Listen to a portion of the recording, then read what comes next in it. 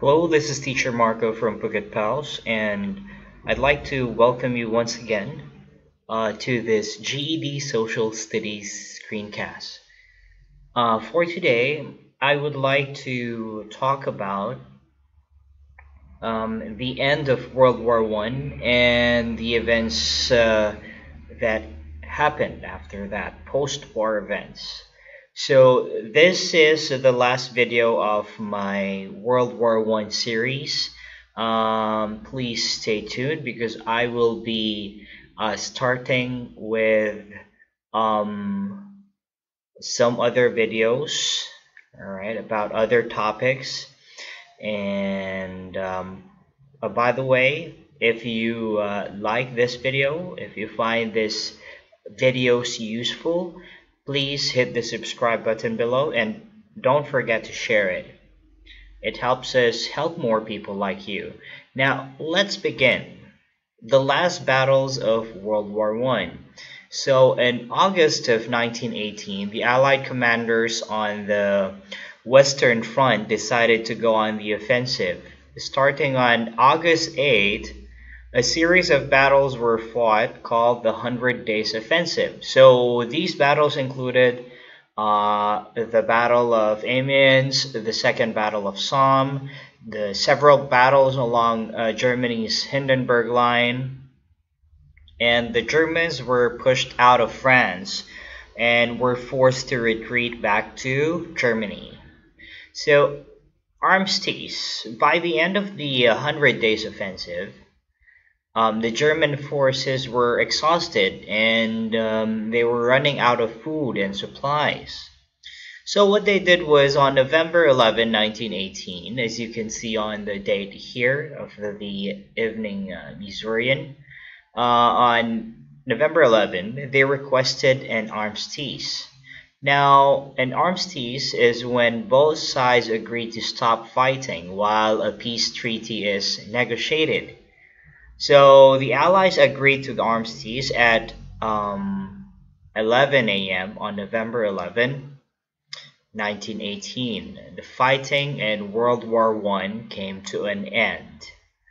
So what happened in the treaty negotiations? So the Allied nations met in Paris and at uh, the Paris Peace Conference in 1919 to decide the fate of Germany and the Central Powers. Although uh, a number of nations took part in the negotiations, the major decisions and discussions were between the leaders of the Big Four, Big Four nations. Um, this included uh, George Clemenceau, um, as you all know, he's the Prime Minister of France during this time. David Lloyd George, the Prime Minister of Great Britain, Woodrow Wilson, the President of the United States, um, and Vittorio Orlando, uh, the Prime Minister of Italy. So each of the four nations had different opinions on how Germany should be treated. Uh, previously on my video about um, Wilson's 14 points, um, he felt that the best situation, so President Woodrow Wilson felt that the best solution was to incorporate um, his 14 points. He thought that Germany should not be blamed for the war or punished too harshly. However, like what I mentioned on my previous lecture, French Prime Minister Clement Clemenceau felt that Germany was responsible for the war and should take the blame and be forced to pay uh, large reparations. Hmm, okay. So, what about the Treaty of Versailles? So, the Treaty of Versailles was signed between the Allied powers and Germany on June 28, 1919. Um, a few months after the armistice. Now, this officially ended World War One. The treaty was extreme uh, like like what I said, this treaty was extremely harsh on Germany. Um, it forced Germany to accept full responsibility for causing all the loss and damage of the war. Also, Germany was forced to disarm and give up land to France and to pay reparations of 132 billion marks. That's around uh, around 442 billion in today's money, dollars, okay, U.S. dollars. So also national borders like new national uh, borders were established right so um, the map of europe changed significantly after world war one so several new independent countries were formed like uh, Poland, Finland, Yugoslavia, and Czechoslovakia. So Russia became the Soviet Union, and the Ottoman Empire later became the country of Turkey.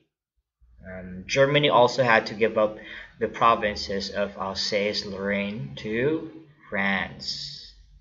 Okay, now what about League of Nations? What is this? So if you still remember the 14 points, this is on the 14th point of uh, uh, Woodrow Wilson's 14 points. Okay, so the League of Nations is part of the Paris uh, Peace Conference, um, an organization called the League of Nations was formed. So the League of Nations was formed in an effort to establish world peace. Its member countries hope to prevent wars in the future by helping to settle disputes between countries.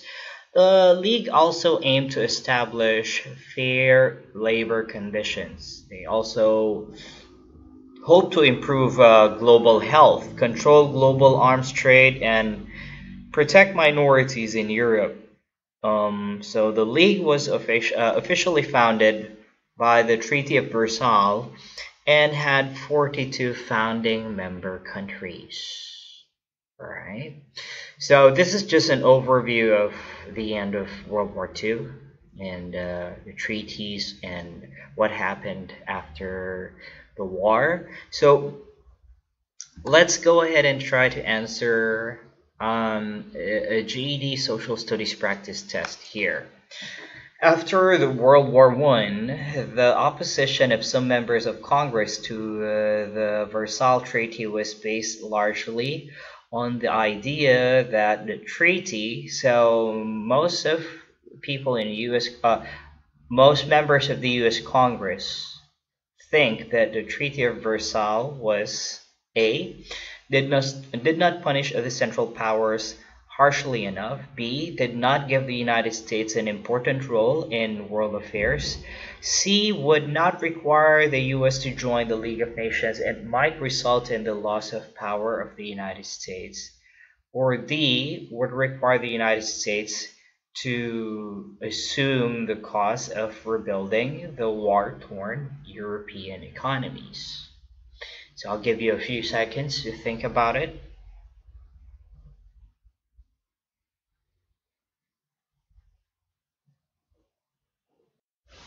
Okay, so I think we uh, uh, have have enough time. We've uh, already thought about the answer.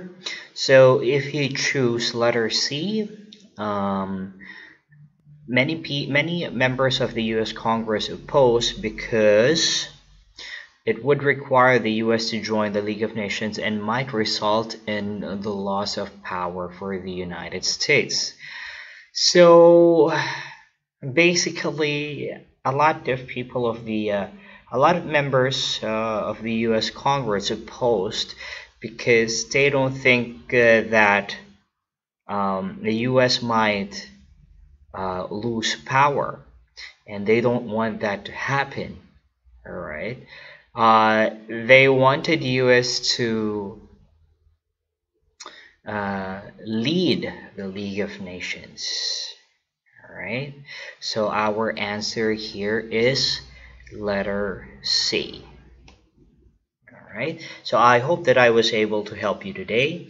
And uh, I want to thank you for uh, being a part of uh, this series and thank you for watching all the videos. Please stay tuned. Don't forget to like and uh, subscribe and share uh, the videos that we have on this channel. Once again, this is teacher Marco and have a nice day.